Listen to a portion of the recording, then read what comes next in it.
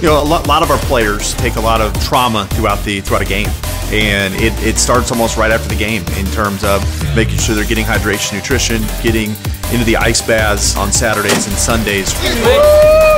cold, boy, I'm telling you. There's so much that goes into it. It's not only in the training room, getting the proper treatment and, and making sure that, you know, those little those little lakes and bruises can turn into something bigger if uh, you know you don't do the right things uh, by getting the training room and, and getting the, the, treatment that you need. For us, it's a it's a seven day a week process with our players to try to keep these guys on the field.